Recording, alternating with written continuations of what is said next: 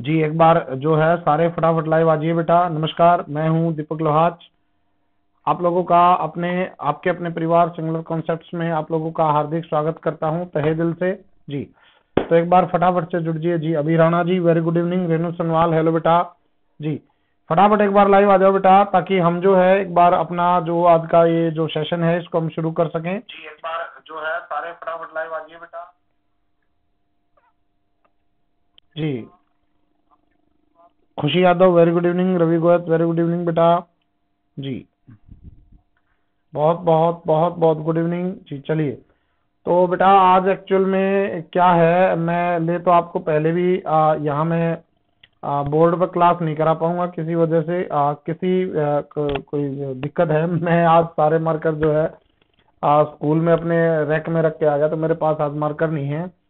तो उस वजह से मैंने ये क्लास आप लोगों की यहाँ लेने की सोची है। जी। ठीक है? तो लिखाई मेरे हिसाब से जो है, मेरी ठीक ठाक रहेगी। आप टेंशन ना लें। थोड़ी बहुत खराब हो जाए तो एडजस्ट कर लेना। जी। जी, करण यादव, राम राम भाई, इंसानी गेमर वेरी गुड इवनिंग देखिए बेटा, ज़्यादा समय खराब नहीं करेंगे हम बातचीत में। जी।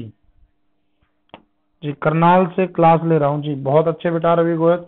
आप अभी मौजूद हैं हमारे साथ एनटीपीसी की तैयारी करते हुए। जी, चलिए। तो देखिए बेटा, मैं आप लोगों को जरा कुछ छोटी छोटी बातें बता देता हूँ।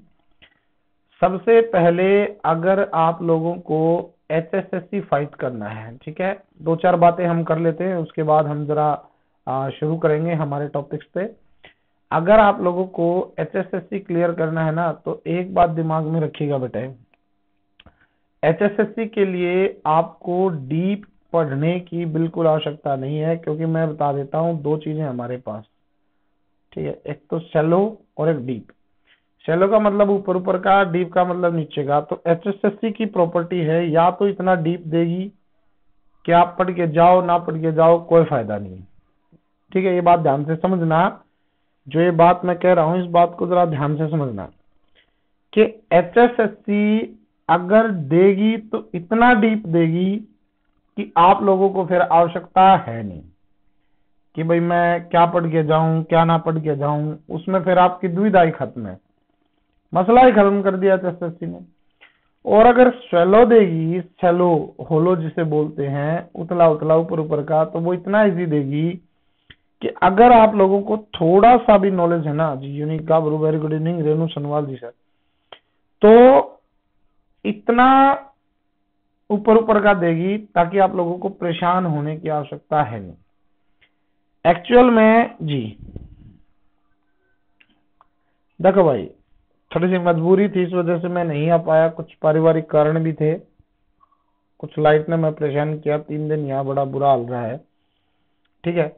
तो उस वजह से हम नहीं आ पाए। तो चलिए, मैं एक्चुअल में हम आपको ये कह रहे हैं कि यहाँ जो चीज़ें आप लोगों के बीच में आज करवाने जा रहा हूँ बेसिकली तो मैं करवा भी चुका हूँ। आप लोगों को मैं एक बार बेसिकली बताऊँ भी गा कि आप लोगों को पढ़ना क्या है। ठीक है? जी। सर जी फिर देखो एचएसएससी में जो वोकेबलरी आनी है बेटा, देखो। एचएसएससी में जो वोकेबलरी आएगी, वो आएगी बेटा आपकी एक्टिव वोकेबलरी एक्टिव वोकेबलरी मतलब वे शब्द पूछे जाएँगे जो आप हर रोज कहीं ना कहीं थोड़ा बहुत सुनते हैं। ठीक है? आप क्या है? हर रोज कहीं ना कहीं आप लोग सुनते हैं, वो चीज़ें आएँगी आप लोगों की, ये मैं पहले बता देता हूँ। ठीक है? तो ज़्यादा परेशान होने का मतलब मेरा ये है कितने पैनिक ना हो कि पता नहीं एच में क्या आएगा, क्या घमचोल होगा, क्या नहीं होगा। ठीक है? तो मैं एक छोटी सी बात आप लोगों को बताऊँ। एच एक खास पैटर्न फॉलो करती है। ठीक है ना? जो एच है, वो एक खास पैटर्न पे चलती है। जैसा हमने पिछली बार देखा कि जो चीज़ एस्टेट में आई, ठीक है, उसी टाइप की इंग्लिश क्लर्क में आई, उसी टाइप की इंग्लिश डी ग्रुप में आई, उसी टाइप की इंग्लिश हरियाणा पुलिस में आई। सेम चीज़ें मतलब जैसी चीज़ें आई, वो सेम आई, जब भी आई वो चीज़ें सेम एस्टेट भी क्लर्क में डी ग्रुप में हरियाणा पुलिस में एसआई में तो अभी आप लोगों को पता है कि जनवरी 2021 में एक पेपर हुआ है आप लोगों का एस्टेट का। किस, किसने देखा है? एस्टेट का जो पैटर्न फॉलो हुआ है, मुझे उम्मीद है, उम्मीद नहीं मतलब मुझे भरोसा है कि अगली जो भी चीज़ होगी, वो एस्टेट से ही होगी। मतलब जो पैटर्न एस्टेट में आया है वो सेम पैटर्न यहाँ भी फॉलो होगा, जहाँ तक मेरी उम्मीद है। ठीक है? और उम्मीद जहाँ तक मुझे है, मैं गलत नहीं होऊँगा, आज तक तो ऐसे एस में हुआ नहीं हूँ। ठीक है? बाकी भाई, किस्मत भरोसे है कि चीज़ें पता नहीं कहाँ से क्या पूछ ले एग्जामिनर ठीक है? लेकिन अभी जैसा हमने पेपर देखा है तो मैं एक बार थोड़ा सा आप लोगों को ब्रीफ आइडिया दे देता हूँ ठीक है? एक जो सेंटेंस पूछा गया है एस्टेट में, वो पूछा गया है नरेशन का। ठीक है? एक सेंटेंस पूछा गया है वो इसका। आप एक बार है ना मुझे वो बच्चे बता दो जो ये कहते हो कि जी नहीं। मतलब हम नरेशन वॉइस नहीं कर सकते। एक क्वेश्चन पूछा है ईडीएम का। ठीक है, एक क्वेश्चन किसका पूछा है? ईडीएम का पूछा है। दो क्वेश्चन पूछे हैं सब्जेक्ट वर्ब एग्रीमेंट के। ठीक है, दो क्वेश्चन किसके पूछे हैं? सब्जेक्ट वर्ब एग्रीमेंट के। ठीक है, एक सेंटेंस पूछा है कंजंक्शन के पेयर का। किसका? कंजंक्शन के पेयर का, ठीक है, एक सेंटेंस पूछा है सिर्फ़ कि आपको पार्टिसिपल भरना है, ठीक है, या फिर इन्फिनेटिव भरना है। एक क्वेश्चन सिर्फ़ ब्लैंक पूछा है, यहाँ से एक बात ध्यान दे एरर नहीं पूछ रहा है। ब्लैंक पूछा है, ठीक है। भाई, एक क्वेश्चन वो भी उसमें से है, जी जी जी। चार क्वेश्चन पूछे हैं बेटा टेंस से। किससे पूछे हैं? टेंस और टेंस में भी मैं बता दूँ, सारे के सारे क्वेश्चन या तो पेयर से पूछे हैं, या आप लोगों के कीवर्ड से पूछे किससे? कीवर्ड से। तो इसमें आपके क्वेश्चन थे, तीन, चार, तीन, सात, और चार, ग्यारह, और चार, पंद्रह। अब ये देखो, पंद्रह क्वेश्चन में तो एक, दो दो, चार और एक पाँच छ और चार, दस, और दो इसमें है, बारह। एक सेनोनिम दे रखा है घिसा पिटा एक सिर्फ़ एक सेनोनिम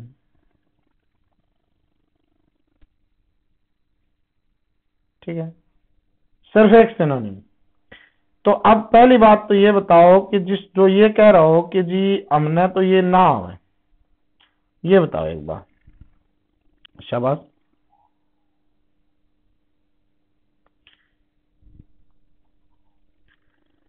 जी हाँ पार्टिसिपल के बारे में मैं आपको बता दूँगा। पार्टिसिपल और इन्फिनेटिव, चिंता ना करे बेटा रेणु। देखो भाई, अब मैं डिसाइड करता हूँ कि आप लोग कौन कौन से टॉपिक इनमें से कर सकते हैं, जरा वो डिसाइड करते हैं। देखो, मैं आज स्पेशल इसी बात के लिए लाइव आया हूँ ताकि आप लोग जो है फॉलो ना हो। अब देखो बेटा, अब रेणु कह रही है, ध्यान से सुनो, भाई रेणु जी कह रही हैं कि सर मैंने दिया था पीआरटी ठीक है? पीआरटी में पंद्रह क्वेश्चन आए इंग्लिश के लैंग्वेज बेटा, रेणु, उम्मीद करता हूँ कि बारह नंबर आपके कहीं नहीं गए। हाँ जी। जी। एक बात था बेटा। पंद्रह नंबर इंग्लिश के कहीं गए हैं मतलब पंद्रह में से बारह नंबर में मिनिमम लगा रहा हूँ आप लोगों के। मिनिमम नंबर कहीं नहीं गए आप लोगों के, ये बारह नंबर। अब इसमें से देखो टेंथ के चार क्वेश्चन है ना तो अब मैं बात करूँ एचएसएससी की बात सुन लो भाई ध्यान से। एक नंबर वॉइस का कटना नहीं चाहिए। एक नंबर नरेशन का ये नहीं कटना चाहिए। दो क्वेश्चन टेंस के ये आप लोगों के हो चुके हैं। एक क्वेश्चन है फ्रेजल वर्ब का। मैं बता रहा हूँ, ये नहीं कटना चाहिए। अगर फ्रेजल वर्ब नहीं आएगा तो आएगा बेटे आप लोगों का फिगर ऑफ़ स्पीच क्या आएगा? हाँ कोई बात नहीं, देखा था ना बेटे मतलब मैं बता रहा हूँ, अगर आप अपने अपने लेवल पे स्कोर करते तो आराम से बारह नंबर आप स्कोर कर लेते, ठीक है? देखो तो दो और दो चार, पाँच नंबर का हो गया, ठीक है? ध्यान से सुनो, एक नंबर का होगा सब्जेक्ट वर्ब एग्रीमेंट आप लोगों का, ठीक है? एक नंबर का मिलेगा बेटा आइडेंटिफिकेशन। क्या मिलेगा? आइडेंटिफिकेशन मिलेगा और आइडेंटिफिकेशन किसका मिलेगा? पार्ट्स ऑफ़ स्पीच का। किसका? पार्ट्स ऑफ़ स्पीच का। वो नाउन है, प्रोनाउन है एडजेक्टिव है एडवर्ब है कंजंक्शन है प्रेपोजिशन है, ये चीज़। ज़्यादा कॉम्प्लिकेटेड कर लेगा तो वो पूछ सकता है कि ये पार्टिसिपल है या फिर ये जेरेंड है। पार्टिसिपल है तो कौन सा है? प्रेजेंट है पास्ट है और जो है परफेक्ट है। ज़्यादा से ज़्यादा ये पूछ सकता है। ठीक है? एक, दो दो, चार, दो छ एक सात। एक क्वेश्चन कोई भी वकैब का आ सकता है। ठीक है एक क्वेश्चन कोई भी वकैब का आ सकता, जी। वेद प्रकाश जी सर। रेणु सनवाल जी, दीपेश यादव, राम राम भाई, आदित्य यदुवंशी गुरु जी राम राम राम राम भाई। ठीक है आइडेंटिफिकेशन हाँ। अब मैंने आप लोगों को आज की क्लास में सिखाना है, एक तो आइडेंटिफिकेशन ठीक है, और एक मैंने सिखाना है कि पार्टिसिपल या जरंड में से कैसे पहचाने। ठीक है, इसके अलावा कोई ये बता दो कि सर मुझे ये नहीं आता। जी। बताओ। जो ये कहता हो कि मन यह चीज़ नहीं आती देखो भाई। क्विक रिवीजन का मतलब होता है जो चीज़ें इंपॉर्टेंट है वो आप सीखिए जी। ठीक है बाकी चीज़ें आप लोगों की शायद आ, बिल्कुल आती हैं। फिगर ऑफ़ स्पीच की क्लास में डिटेल में डाल रखी है। फ्रिजल वर्ब की मैंने आपके पास शीट भेज रखी है नहीं भेज रखी होगी तो आज भेज दूँगा। ठीक है जी हाँ। तो दो पॉइंट आप लोगों के निकल के आए हैं। और दो पॉइंट निकल के आए हैं आइडेंटिटी आज चिंता मत करना साथ साथ नोट डाउन करने की कोई आवश्यकता नहीं है। क्या भाई नोट्स बनाओ? जो पीडीएफ मैं यहाँ लिखवा रहा हूँ, ध्यान से सुन लो, जो मैं यहाँ लिखवा रहा हूँ इस आपकी स्क्रीन पर ये एज इट इज़ आप लोगों को मिल जाएगा क्लास के दस तुरंत बाद। तो देखो भाई, सबसे पहले हम करते हैं बेटा आइडेंटिफिकेशन ठीक है? आइडेंटिफिकेशन एक्चुअल में हमने करनी किसकी है? भाई, कोई चीज़ नाउन है प्रोनाउन है एडजेक्टिव है एडवर्ब है कंजंक्शन है प्रेपोजिशन है नाउन है तो किस प्रकार का है? सबसे ज़्यादा मुश्किल बनेगी या तो एडजेक्टिव या एडवर्ब में या फिर नाउन के टाइप पहचानने में। सबसे ज़्यादा दिक्कत होती है जी Anjali Jakhar very good evening Neetu Sharma hello बेटा वेद प्रकाश प्रणाम जी। वेद सर क्या हाल है आपके? रवि गोयतन जी चलिए बेटा।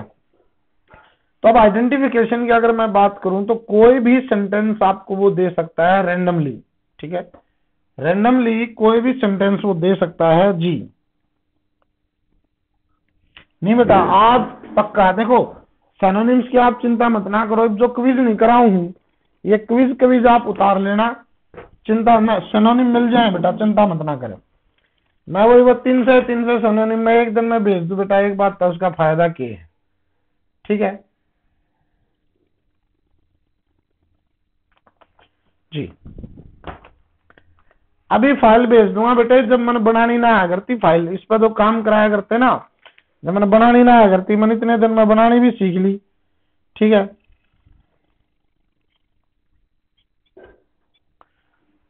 देखो भाई, अब जैसे हम कोई भी एक सेंटेंस लिख लेते हैं, जो मर्ज़ी। जैसे मैं लिखूं it is a universal belief that. ठीक है? It is a universal belief that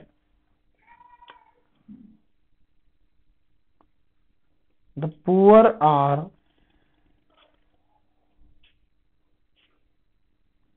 dishonest.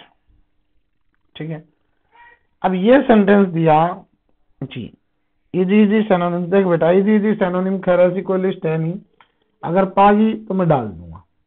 अगर कोई लिस्ट पागी ना मैंने, मैं ढूंढूँगा अगर कोई पचास होगी पागी तो मैं डाल दूँगा। आज मैं आपका एक काम करके सोऊँगा कन्फर्म ठीक है? एक्चुअल में बेटा मैं थोड़ा परेशान था, मेरा वो बच्चा ना, छोटा है। मैं देर तक क्लास लेके आता हूँ, आके फिर, है ना, इस टाइम पर वही खाने का टाइम और वही क्लास का टाइम कल तो इसलिए नहीं हो पाई। ठीक है? और बच्चा इतना छोटा है कि वो फिर रुकता नहीं किसी तरह। फिर मैंने कल मेरी नानी बुलाई है स्पेशली आप लोगों के लिए। एक महीने की नानी जी आप आ जाओ मेरे घर पर मैं अकेला हूँ। ठीक है? हम्म, हाँ मेरे वाले की भी पीडीएफ भेज दूँगा कंप्लीट की भेज अच्छा एक बात। सबको मैं बता दूँ मेरी हैंड रिटन बुक है बेटे जिसमें फुल ग्रामर है। देखो बेटा जो मैं क्लास में लेवल करवा रहा हूँ वो लेवल तो खैर उसमें है नहीं।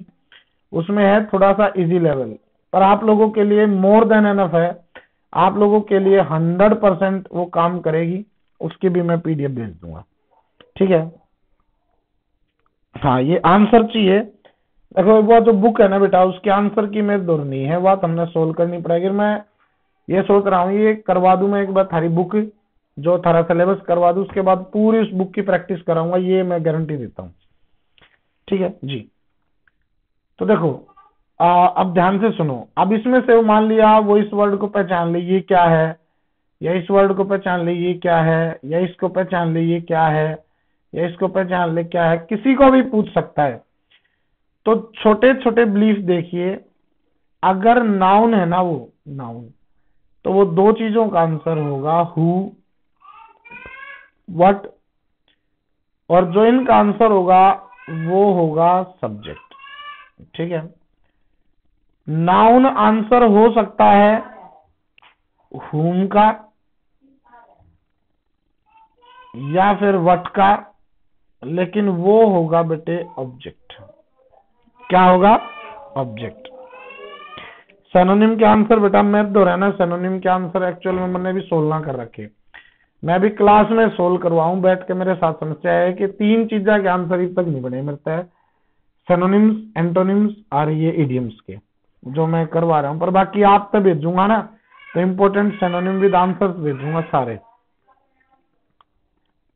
ठीक है? नाउन हु और वट सब्जेक्ट होम और वट के भी ऑब्जेक्ट अगर वो प्रोनाउन है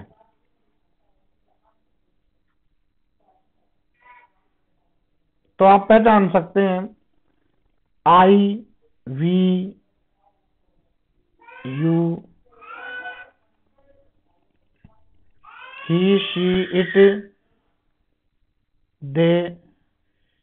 ये चीज़ें होंगी प्रोनाउन अगर आपने ऑब्जेक्टिव पहचानना है तो पहले पहचाने आप नाउन को। ध्यान से सुन लो बेटा। पहले आप नाउन को पहचाने। और नाउन के साथ एक कैसा है? नाउन कैसा है? हाउ इज़ द नाउन जो हाउ का आंसर होगा, वो होगा एडजेक्टिव मैंने लिंकिंग वर्ब करवाई थी आप लोगों की। जो वर्ब कोपुला जिसे हम बोलते हैं, वो कैसी है, उसका आंसर भी एडजेक्टिव होगा। उसके बाद एडवर्ब आती है। ध्यान से सुन लेना भाई, ये पॉइंट बड़ा इंपॉर्टेंट है। उसके बाद एडवर्ब आती है, इस सेंटेंस को हम डिस्कस करेंगे। अगर जो एडवर्ब है, जी एडवर्ब जो आंसर होगा बेटे, आपने सबसे पहले पहचाननी है वर्ब या फिर एडजेक्टिव आपने पहला है, सबसे पहले या तो आप पहचानेंगे वर्ब या पहचानेंगे एडजेक्टिव उसके बाद वर्ब कैसी है? वर्ब कहाँ हुई? वर्ब क्यों हुई? वर्ब कब हुई? वर्ब कितनी बार हुई? कितनी ज़्यादा हुई? वर्ब कितनी बार हुई? ये जो है, इन सब का आंसर सेंटेंस में हमेशा एडवर्ब होगा भाई। हमेशा। कि वो वर्ब क्यों हुई? किस कारण से हुई? कितनी हुई? ये चीज़ अगर आप पढ़ेंगे तो वो सारी की सारी क्या होंगी? वो सारी की सारी आपकी एडवर्ब होंगी। क्या होंगी? एडवर्ब। थोड़ा सा और डिटेल में चले। जो हाउ का आंसर होगी एडवर्ब, उसको हम कह देंगे बेटा एडवर्ब ऑफ़ मैनर। वेयर जो हुई वाह हो जाएगी एडवर्ब ऑफ़ प्लेस, डिटेल में पूछ ले तो वाई होगी। एडवर्ब ऑफ़ रीजन ठीक है?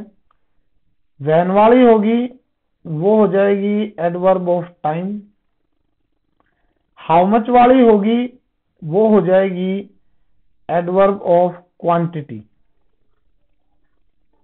क्या हो जाएगी? Adverb of quantity how often की होगी, वो हो जाएगी एडवर्ब ऑफ़ फ्रीक्वेंसी जी। भाई एडजेक्टिव प्रोनाउन एडवर्ब स्पेशली ये बेटा सारे होंगे बाद में। ठीक है? Antima Budhwar very good evening Renu Sanwal ji, चलिए चल रवि को। बेटा टॉपिक सारे होंगे। तब बस मैं जो था एस का पेपर है सर्विस के रिगार्डिंग बता रहा हूँ। छोटी छोटी छोटी छोटी चीज़ें कि उनको हम सेंटेंस में पहचाने कैसे, बस कैसे हम पहचाने उसको। ठीक है? बात समझ में आ गई? उसके बाद कंजंक्शन जो है, वो दो चीज़ों को जोड़ने का, कनेक्ट करने का काम करेगी जोड़ने का, योजक का। जोड़ने में और रिलेशन बताने में फ़र्क है बेटा, याद रखिएगा। जोड़ने में और रिलेशन बताने में फ़र्क होता है हमेशा। खिड़की से दरवाजे का क्या रिलेशन है, वो प्रीपोजिशन बताएगी और खिड़की दरवाजे को जोड़ेगी, वो कंजंक्शन है। तो इसी प्रकार जो प्रेपोजिशन है, वो चीज़ों को जोड़ेगी। क्या करेगी? वो चीज़ों को जोड़ेगी। जोड़ेगी मतलब क्या है कि प्रेपोजिशन जो है, वो बताएगी रिलेशन क्या बताएगी? रिलेशन जैसे जैसे मैं कह दू डोर एंड विंडो तो इसका मतलब मैंने विंडो को दरवाजे से जोड़ दिया है। तो ये हो गया कंजंक्शन कंजंक्शन का एग्जांपल लेकिन अगर मैं कह दूँ door to window door to window तो इस टू ने बताया रिलेशन टू क्या हो गया बेटे? प्रेपोजिशन ठीक है, पहली बात. दूसरी बात याद रखिए, अगर कोई भी प्रेपोजिशन अकेली है, उसके बाद नाउन नहीं है, याद रखिएगा कोई भी प्रेपोजिशन अकेली है, अगर उसके बाद नाउन नहीं है तो वो प्रेपोजिशन काम करेगी बेटा एडवर्ब का। ये पॉइंट इंपॉर्टेंट है। कई बार पूछा भी गया है, ये दोनों पॉइंट इंपॉर्टेंट है। अगर किसी प्रेपोजिशन के बाद नाउन नहीं लगाया है तो वो प्रेपोजिशन एडवर्ब होगी। क्या होगी बेटे? एडवर्ब होगी, याद रखिएगा। जैसे मैं कह दू ही केम इन और आपसे पूछ ले कि ये इन क्या है? इन। तो आपने बताना है बेटे, in here is an adverb in क्या है? एडवर्ब है। ठीक है? जी। Antima art galaxy very good evening जी, बहुत अच्छा नाम रखा है अंतिम आपने। बहुत अच्छा अंतिमाज आर्ट गैलेक्सी देखिएगा। अब अगर मैं बात करूँ इन सेंटेंसेस को पहचानने की, ठीक है? तो जरा आप मेरी हेल्प करेंगे, अभी देखना जरा आप लोग। देखिए it is a universal belief it के है प्रोनाउन है, सब पहचान लोगे। ठीक है? इज़ को भी सब पहचान लोगे, बच्चे तो हो नहीं, कि इज़ वर्ब है। ए को पहचान लोगे कि ए क्या है? आर्टिकल अब एक बात याद रखना बेटे आर्टिकल को हमेशा ये पॉइंट छोटे छोटे याद रखना कि आर्टिकल को हमेशा क्या चाहिए? एक नाउन चाहिए। इनके बीच में अगर कोई चीज़ आस्क है तो वह एडजेक्टिव और एडजेक्टिव तो पहले एडवर्ब भी आस्क है। बात समझ आई? मैंने क्या कहा है? This point is very important for you कि आर्टिकल को क्या चाहिए? नाउन चाहिए भाई। क्या चाहिए? आर्टिकल को नाउन चाहिए। ठीक है ना? बात समझ में आ गई? तो देखो, अब यो ए हो गया आर्टिकल ठीक है? अब आर्टिकल के चाहिए नाउन अब यूनिवर्सल और बिलीफ अब यूनिवर्सल नहीं पहचान में आ रहा ना, क्या है? तो मैं एक बात बता देता हूँ, जिसके पीछे A L I C able व्याख्या पा जाए वो एडजेक्टिव आ रहा है। नहीं तो उसके साथ आपने कोई ना कोई वर्ड ज़रूर सुना होगा, जैसे यूनिवर्सल ट्रुथ सुना है? तो यूनिवर्सल ट्रुथ की विशेषता बताओ है ना। पहले ढूंढो नाउन बिलीफ नाउन है, विश्वास। कैसा विश्वास? अरे हो गया? तो सीधा सा भाई, कैसा विश्वास? यूनिवर्सल तो यूनिवर्सल हो गया एडजेक्टिव ठीक है। और बिलीफ क्या हो गया भाई? नाउन काम खत्म। एक सेंटेंस जो दूसरा सेंटेंस दूसरी बार आ गई तो कंफर्म है कंजंक्शन पाओगी। दैट के है कंजंक्शन आर के है वर्ब डिसऑनेस्ट विशेषता बताता है, बेईमान है। बेईमान विशेषता बता रहा है तो क्या है? एडजेक्टिव अब यह समस्या आएगी द पुअर अब पुअर भी किसी की विशेषता बता रहा है? यो एडजेक्टिव है। लेकिन, जब इस पुअर तक पहले द आ गया ना द तो यो के है बेटा सब्जेक्ट है। ठीक है, और सब्जेक्ट के है? नाउन तो यो के बन जाएगा नाउन बन जाएगा। बात समझ में आ गई? ये चार पाँच बात याद रखनी है, चार पाँच। घनी बड़ी माया नहीं है। अब इसके बाद अगर मैं कहूँ आप लोगों को तो देखो बेटा, ध्यान से सुनना। अरे के हो गया, ऊपर नो लेने यो भी नाराज़ हो जाए, कई लैपटॉप में गया आप ज़्यादा काम ले लेते हैं मेरे से, इसलिए मैं ऊपर नहीं होऊँगा चलो ठीक है। इब देखो भाई एक जैसे आ, मैं सेंटेंस लिखता हूँ।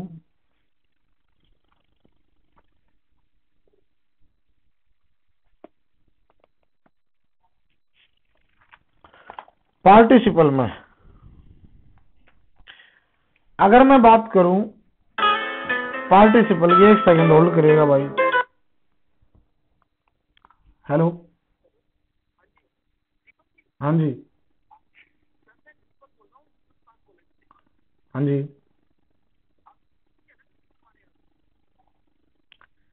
हाँ एक्चुअल में ड्यूटी है सर लेकिन मेरी फैमिली में कोई बहुत ज़्यादा इमरजेंसी होगी। सर एक्चुअल में, बस मैंने ट्राई की थी, वो लगी नहीं। मैंने मेरे एक साथी को बताया था, मेरी बहुत ज़्यादा इमरजेंसी होगी सर मैं मतलब ऐसी मजबूरी है, मैं घर से निकल भी नहीं सकता।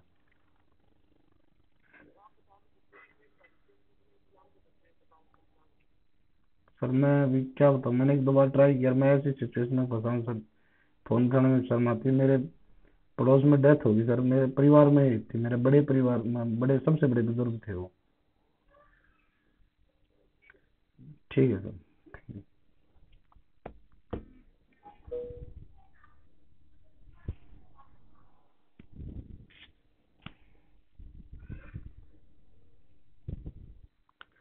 चलो भाई। देखो चल, में क्या है भाई? मैं आप लोगों को बता देता हूँ। मेरी कल कहीं ड्यूटी लगी थी, झूठ बोलना पड़ा मैंने उनको। ठीक है? अब इस सर्दी में कौन जावा कहीं ड्यूटी देने? ठीक है? इसलिए, है ना, मैं बस बड़ी समस्या थी नंबर बंद करने पड़ेंगे मैंने। ठीक है? जी। चलिए, आगे देखते हैं। जैसे आ, अभी हम बात करें सबसे मेन मुद्दा है पार्टिसिपल वर्सेस जेरेंड का। सबसे बड़ा मुद्दा है आप लोगों का जो आता है। सबसे बड़ा मुद्दा है पार्टिसिपल और जेरेंड का। पार्टिसिपल भी होता है तीन जो वी वन आई एन है। अगर जैसे मैं कहूँ आप लोगों को V one plus I N G है। अरे, बोलनी पड़ती है बेटा, एक बार, एक आध बार झूठ समझते नहीं आप। ठीक है ना? बात। बोलनी पड़ा बेटा, एक आध बार। V one I N G भी पार्टिसिपल है। खाली वर्ब की थर्ड फॉर्म भी पार्टिसिपल है। Having plus V three V अब ध्यान से सुन लो। अकेली वर्ब की थर्ड फॉर्म हो, बिना किसी हेल्पिंग वर्ब के, याद रखना। पहले हेल्पिंग वर्ब नहीं हो। ये हमेशा पार्टिसिपल होगा। हमेशा। हैविंग प्लस वी थ्री हो, हमेशा पार्टिसिपल होगा, हमेशा याद रखिएगा। अब जो V one I N G है, ये जेरेंड भी होता है। V one I N G है, ये जेरेंड भी होगा। अब पहचानोगे कैसे? याद रखना बेटे। अगर किसी प्रेपोजिशन या किसी मेन वर्ब के बाद V one I N G है शॉर्टकट बता रहा हूँ तो ये होगा, अरे नहीं, कोई दिक्कत नहीं है। वो कहा, हमारा उनको कहा यूट्यूब चैनल पता है? कोई अनोन आदमी था। ठीक है? एक्चुअल में कल ग्राम सचिव में मेरी ड्यूटी थी। ड्यूटी आ रही थी मेरी ग्राम सचिव में अम्बाड़ा हिंदुस्तान कॉलेज में। मैंने टाल करवाई है। समझा करो आप लोग। तारे में किसी सेंटर तो नहीं था। कदे मन टाल करवा ली हो? और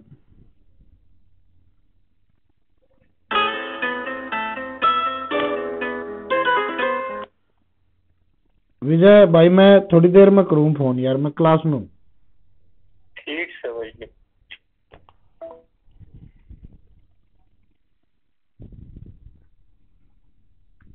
तो देखो उसके बाद देखो। अगर किसी प्रेपोजिशन के बाद या मेन वर्ब के बाद आईएनजी है तो कंफर्म है बेटा वो जीरंड होगा। यानी कि जिसे आप जेरंड बोलते हो अगर वैसे पूछ ले तो ये नाउन होगा। और जेरंड की फॉर्म में पूछ ले तो जेरंड होगा। बात समझ में आ गई? वैसे पूछ ले तो नाउन होगा और अगर टेक्निकल टर्म में पूछ ले तो जेरंड होगा। ठीक है? किसी मेन वर्ब से तुरंत पहले, याद रखना, किसी मेन वर्ब से तुरंत पहले वी वन आई जी आया हो और इस मेन वर्ब का ये सब्जेक्ट हो, क्या हो? सब्जेक्ट नहीं भाई, सार भी सार ड्यूटी नहीं है। जी भाई भाई। ठीक है। एसार मतलब बेरा नहीं था। कौन से कॉलेज में आओगा भाई ना तो मैं एडजस्ट कर सकता था। ठीक है। हाँ भाई, अनुज मलिक आशीर्वाद। तो ये V one I N G भी शत प्रतिशत जेरंड ही होगा। क्या होगा? जेरंड बस, अब अगर कहीं V one I N G आया है और अगर वो जेरंड नहीं है तो वो क्या है? पार्टिसिपल क्या है? पार्टिसिपल अब एग्जांपल देखें। I like him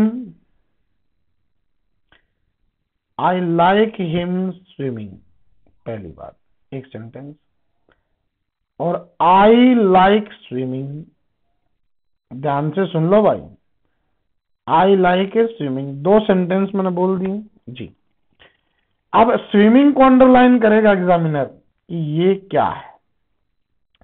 सीधी सी बात है भाई। इसमें देखो तीन बात। क्या ये किसी प्रपोजिशन के बाद है? नहीं। क्या ये किसी मेन वर्ब के बाद है? नहीं। क्या ये किसी चीज़ का सब्जेक्ट है? नहीं। इसका मतलब ये जेरंड नहीं है और जेरंड नहीं है तो ये क्या है बेटे? पार्टिसिपल नॉर्मल भाषा में पूछ ले तो ये क्या है? एडजेक्टिव क्या है? एडजेक्टिव बात समझ में आ गई? क्या ये ड्यूटी क्या है ये ड्यूटी ना चल रही भाई? बाद में डिस्कस करेंगे अब इसमें देखो, क्या ये मेन वर्ब के बाद है? जी बिल्कुल है मेन वर्ब के बाद है तो ये क्या हो जाएगा? जेरन क्या हो जाएगा? जेरन और देख लो, एक दो तुमने और सिखा दू मैं।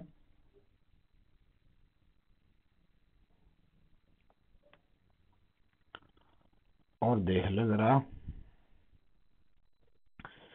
जैसे मैं कह दू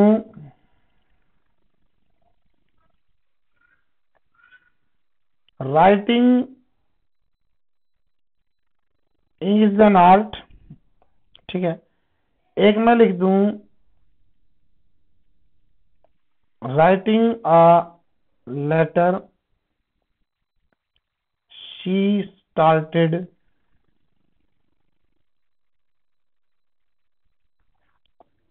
she started weeping अब ध्यान से सुन लो, इस समय कमाल कर देंगे इसी सेंटेंस में।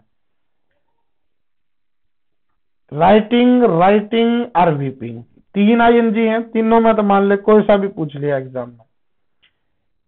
मेन वर्ब का सब्जेक्ट है राइटिंग सब्जेक्ट है, इसमें मेन वर्ब है स्टार्टेड ठीक है? स्टार्टेड का सब्जेक्ट मैं स्टार्टेड थोड़ा साफ़ सा लिख लू मैं इसमें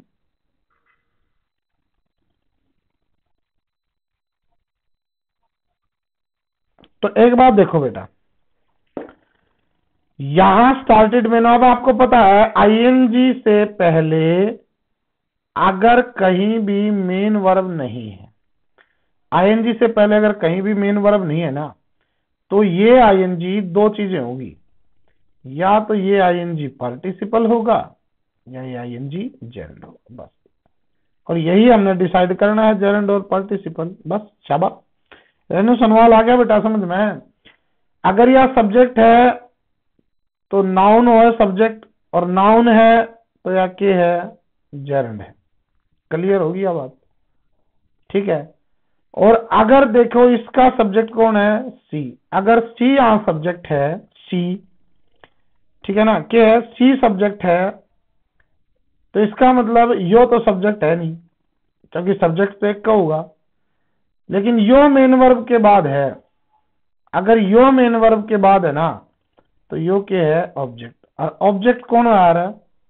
नाउन और नाउन के आ रहा है जेरंड क्यों आ रहा है? जेरंड नाउन क्या होता है? जेरंड यो विपिंग जेरंड है लेकिन यो राइटिंग ए लेटर के है, अब ना तो यो ऑब्जेक्ट क्यों प्रीपोजिशन और मेन वर्ब के बाद है नहीं? तो यो के है बेटा एडजेक्टिव बात समझ में आ गई?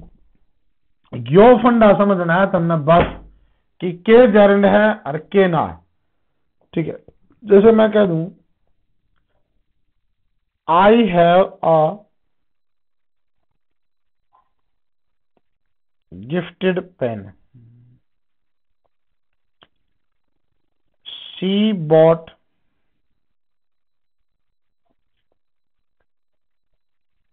a broken chair gifted क्या है? ब्रोकन क्या है? ऑप्शन आपको देगा एग्जामिनर दोनों में। एडजेक्टिव है नाउन है वर्ब है एडवर्ब है। इसका आंसर दे दो, पार हो तुम। जी। शाबाश, जल्दी बताओ। चालीस मिनट की क्लास होगी, बात बता आज तो बेरा ना पटे ऐसे बस बोल्ड वाली फीलिंग ना आती, नहीं तो सही है ना लिखने का इंतज़ाम एक नंबर का। क्यों? भाई रवि गोयत सही है ना?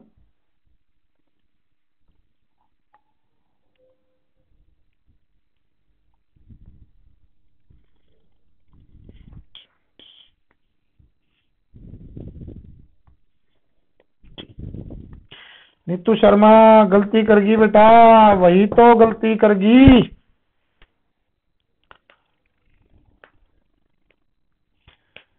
नहीं बेटा नीतू शर्मा गलती करगी ना। एक घंटे क्लास पर पानी फेर दिया बेटा तने।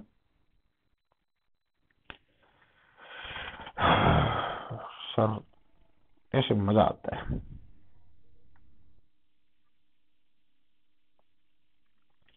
अरे मेरी भी मेहनत कम है बोर्ड से इतना सेटअप करने की आवश्यकता ही नहीं है। बोर्ड लगाना, ना कैमरा लगाना, ना फुल क्लियरिटी राम राम जय श्री राम नहीं बेटा रेणु सनवाल, ध्यान से सुन, ध्यान से सुन ले मेरी बात। ए आर्टिकल है आर्टिकल को चाहिए नाउन पेन नाउन है चेयर नाउन है। और ये रूल है बेटा। अगर आर्टिकल और नाउन के बीच में कोई भी चीज़ है ना तो वह एडजेक्टिव होएगी। अब ये क्यों कर बने या सुन ले, मेरी ध्यान पे सुन ले, गलती कर क्या होगी ना तो। गिफ्टेड वर्ब की थर्ड फॉर्म है ब्रोकन भी वर्ब की थर्ड फॉर्म है कि नहीं? और मैंने क्या कही थी, अगर वर्ब की थर्ड फॉर्म से पहले अगर हेल्पिंग वर्ब नहीं है ना तो आँख बंद करके लगा दियो, क्या होगा? एडजेक्टिव होगा। क्या होगा? एडजेक्टिव होगा, मोनी यादव बिल्कुल सही आंसर है भाई। क्या होगा? नहीं भाई एडजेक्टिव होगा रवि गोयत एडजेक्टिव बात समझ में आ गई? ठीक से क्लियर से हाँ? ये बताओ, कोई डाउट्स है?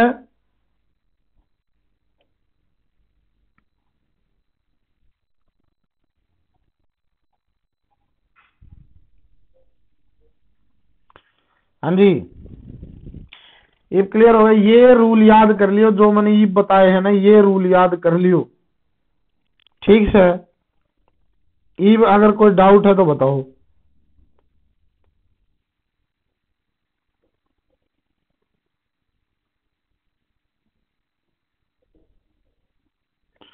शबाश?